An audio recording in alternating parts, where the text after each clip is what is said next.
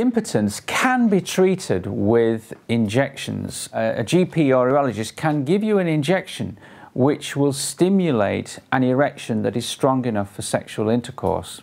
Now, with these particular injections, uh, if they're successful for you, uh, the doctor or urologist will show you how to self inject at home so that you don't uh, need to keep going to your GP surgery or your urology clinic um, each time uh, you want an erection. So these are injections that can be done at home once the uh, urologist has settled you on the right dose for you that's strong enough to give you an erection for sexual intercourse.